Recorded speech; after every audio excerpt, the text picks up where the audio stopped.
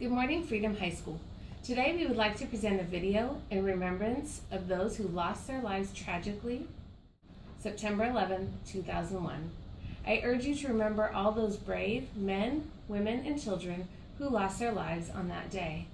And be thankful to all the first responders who came to their aid.